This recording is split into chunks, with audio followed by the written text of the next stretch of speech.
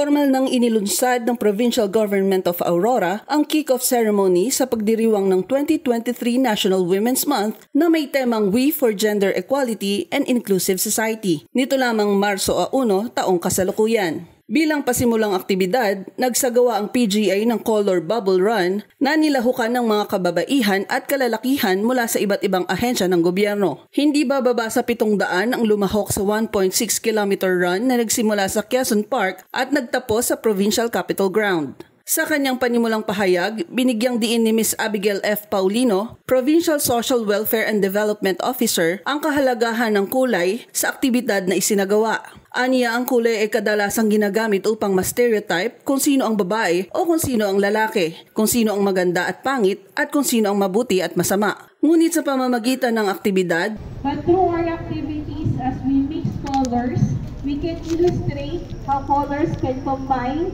and still be pretty and fun.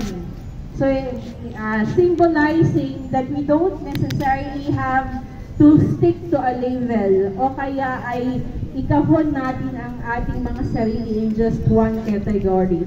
Nagpahayag din sina Honorable Jennifer Aranya, SP Committee on Finance and Honorable Annabel Tangson, SP Committee on Social Service ng suporta at paghanga sa mga kontribusyon ng kababaihan sa kaunlaran ng komunidad.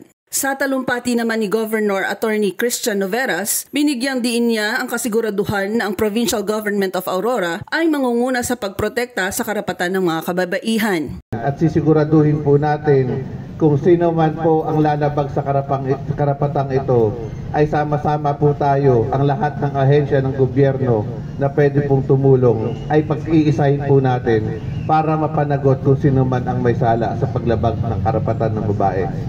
Naging tampok din sa nasabing aktibidad ang In Her Shoes Run kung saan ang mga kalalakihan ay nagsuot ng pangbabaeng pansapin sa paa o heels bilang pagbibigay ng paggalang at pagrespeto sa sakripisyo ng mga kababaihan. Para sa isang runner na si Bea Hermenihildo, masaya siya na naging parte siya ng ganitong adhikain. Siyempre, bilang isang babae, kailangan natin makibahagi sa mga adhikain katulad nito bilang pagkakaisa natin bilang isang babaeng may pinaglalaban, hindi lang sa sa gender natin, no, maraming kasing kayang gawin isang kababahian at ito yung isa sa pagka, uh, pagkakataon para makaisa.